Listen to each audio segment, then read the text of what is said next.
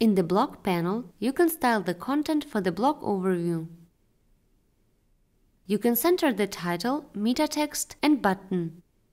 Set the title style, for example, let's set it to H3. The top title margin, let's set it to medium. And the top meta text margin, let's set it to small. You can also show excerpt instead of the post content in the blog overview. This only applies if the post has an excerpt text. There is also an option to limit the content length to a number of characters. This will also add the Continue Reading button. Let's limit the content to 200 characters. You can set the top content margin, for example, let's set it to medium, and center the content.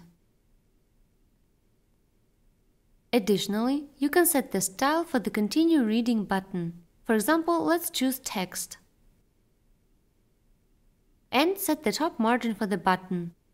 Let's choose medium.